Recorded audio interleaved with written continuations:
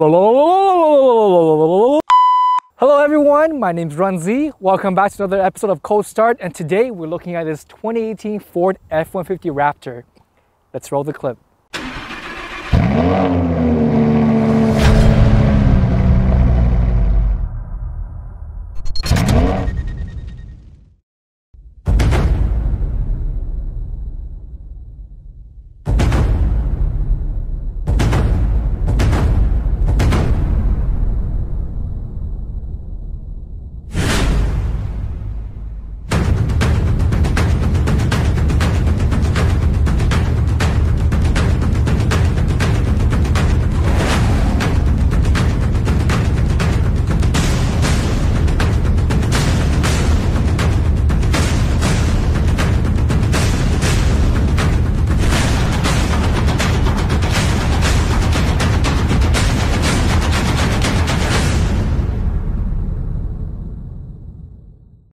Welcome back everyone. I hope you all enjoyed the cinematic video we did for the F-150 Raptor.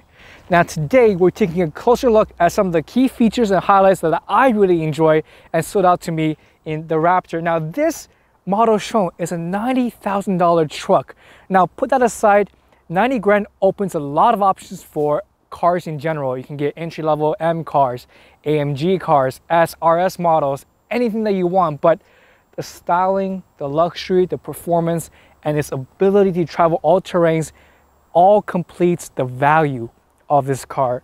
First things first, in the front we have the signature and Raptor exclusive Ford block letters. They are paired with the integrated marker lights that shines off on the badge at, uh, at nighttime. This completes the overall aggressive look of the entirety of the vehicle.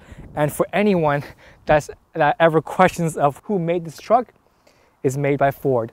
Moving on top, you have the hood vents, as well as you have the vents on the fenders over here. It is because this brand new engine, EcoBoost engine, has two turbos. Now, I know everyone is dying to know what's underneath the hood. Hold on one second.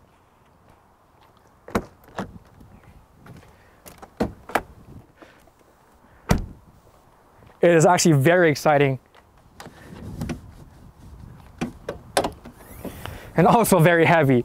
I know the old traditional F-150 is equipped with 6.2 liter V8 engine, those robust, uh, mean sounding motors, but this one is a 3.5 liter twin turbo V6 engine that is pushing out more power than the 6.2 V8. It's almost half the displacement and more power. Now, what is the number? 450 horsepower and 510 pound-feet of torque. The towing capacity is a bit tricky. We try to find the exact numbers on the internet, but it's giving us mixed numbers. The most consistent number that we got was 8,000 pounds of towing capacity. I feel like the Raptor is way more capable of doing that, but if you're towing boats, if you're towing trailers for your camping, for whatever you need recreationally, this Raptor can handle it with ease. Moving along the side of the car, uh, there are three key features that I really adore on the Raptor. Number one is the wheels, number two is the suspension, and number three are the running boards. So these are 17 inch cast aluminum wheels slapped on with some meaty all-terrain rubber that can give you the confidence to tackle any terrain, sand, mud, wet weather, you know, snowstorm. Behind it, you will see the rocks, uh, sorry, rocks, Fox Racing Shocks. They are an aftermarket company that started off doing suspension components for motorcycles, for snowmobiles, and recently become really popular in 2014 for making premium aftermarket suspensions for trucks. Now the front has a 13 inch, the rear has a 14 inch travel distance, which means that it will give you the comfort for your day-to-day -day driving, but it also give you the good performance in tough terrains, let's say mud, sand, uh, wet weather, etc., etc. And of course, since this car is lifted, it is slapped on with a pair of Raptor exclusive running boards. I mean, just feel the material on it. It feels very sturdy. And I feel like this is not cheaply made. By entering the vehicle, it, you kind of see that it can handle a lot of weight depending on uh, how much you weigh. I mean, the, the rest of the vehicle, it has, you know, the Raptor wrap, vinyl wrap on it. The rear is not too exciting. It has the back black emblem with the F-150 and the Raptor. overall, step bumper, a, dual exhaust, uh, things like that are pretty standard in a truck. So we're not gonna go into too much details about it, but the wheels, the rubber, the suspension, the running board are really key features that you should look out for in the F-150 Raptor. Now let's take a look at the inside. As you can see, 90 grand does give you the luxury that this car deserves. It has a two-toned leather seats with the Raptor signature emblem on it. I really like that. Uh, but I really, really like when manufacturers do these colored stitching that matches the two-tone that runs the entirety of the vehicle. I mean, it is on the wheel as well and completes with the racing marker wheels on the top. I'm gonna get in.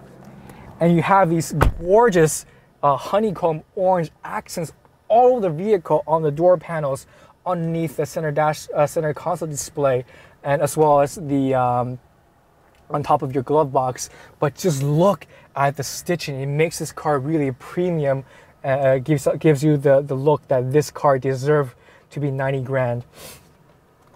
But in terms of technology, I'm sorry to say it is pretty standard and basic uh, in terms of luxury vehicle. You know, you have your heated seats, you have your air conditioning seats, your navigation, rear view camera, um, a memory seat. I, I feel like those things in a luxury vehicle are very standard, so we're not going to do, do too much uh, details into those things. But come inside, let's let's show you some of the two two key features that I really really enjoy in the F-150. Come on inside.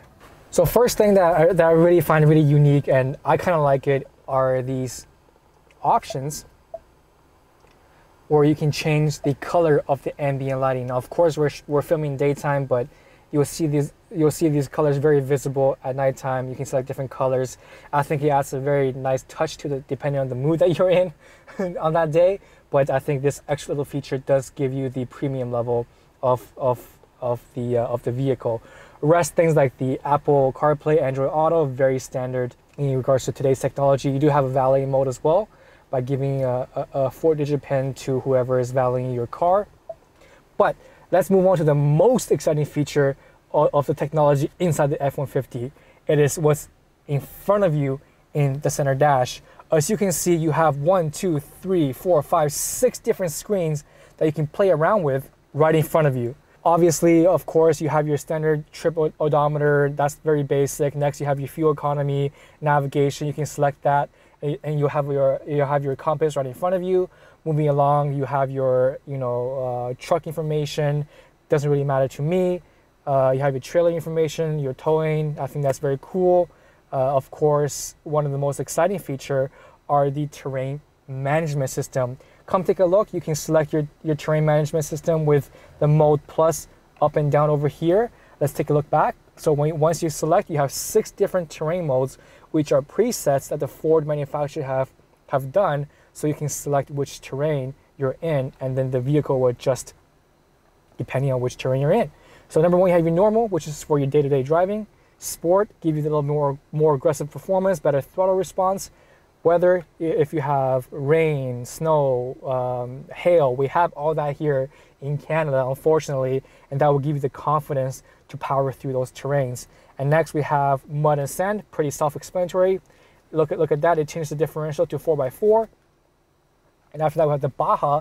The Baja is actually uh, meant for the desert terrain, give you that uh, quick acceleration and the confidence to, prefer, to, to perform at an aggressive level uh, in the desert. And last but not least, we have the rock crawl, which means that you can climb rocks and crawl with this truck. Now, how many trucks that have luxury, that have styling, that have performance, all in the same time you can tow? I think that's that's that's the perfect balance of everything that you need in a truck. Uh, personally, I would like to be inside a Shelby uh, Shelby F-150, but this one does does does the job.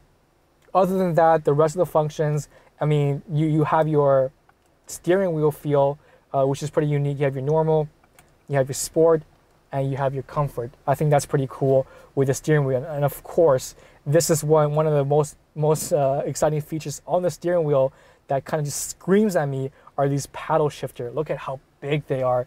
They, they kind of give you that Ferrari Ferrari Lamborghini feel that doesn't matter where your placement of your hand is, you will always be feeling these, these big paddle shifters that just give you comfort.